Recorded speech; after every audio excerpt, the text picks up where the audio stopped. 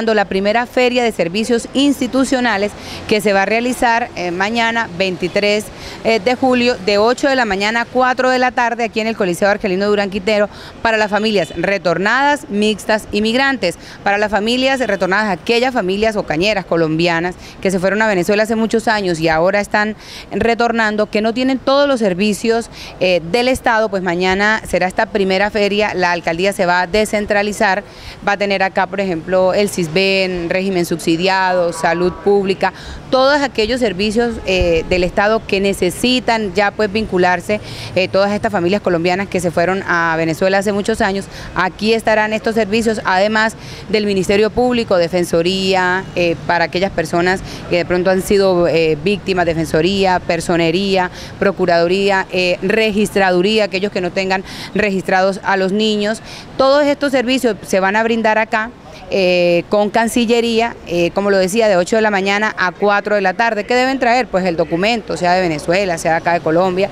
eh, para que puedan hacer todo este registro y se puedan beneficiar de esta primera feria de servicios.